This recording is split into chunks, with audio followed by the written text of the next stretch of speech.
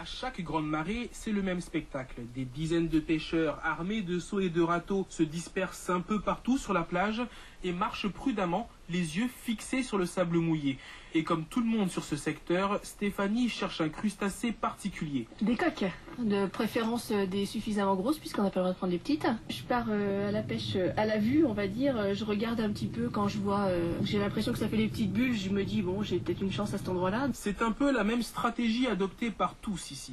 Enfin, presque tous, car Diane, qui a grandi à Morsaline, utilise directement ses doigts plutôt qu'un râteau. Vous prenez pas de râteau comme les autres? Oh non, c'est les Parisiens qui prennent les râteaux. Julien aussi est natif d'ici, et lui aussi semble avoir plus d'expérience pour dénicher les coques. Lorsqu'il y a du soleil, il y a des petites taches bleues qu'on reconnaît, on les voit bien, mais là, il n'y a pas beaucoup de soleil, alors au gratte. Ça a plutôt l'air de lui réussir, puisqu'il a ramassé plus de coques que les autres en moins de temps. Ah, ben c'est un métier, ça.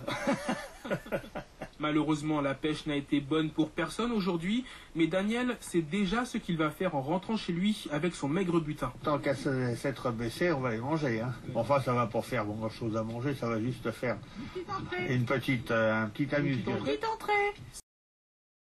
S'ils croient que c'est la marée haute, alors ils sortent, euh, ils sentent le sel, donc ils sortent et puis on les attrape. C'est pas pour manger, c'est pour pêcher. Certains les mangent, mais moi je suis pas très friand de ce genre de choses. Ce soir, pour l'apéro, on fait griller comme des frites dans l'huile. On est venu exprès pour ça, parce qu'on connaît le coin, on sait que c'est valable pour la pêche. deux huîtres, c'est tout. Ça va être juste un peu pour ce soir là. Bah oui, mais il y, a Super Hugues là, on va aller faire les courses après.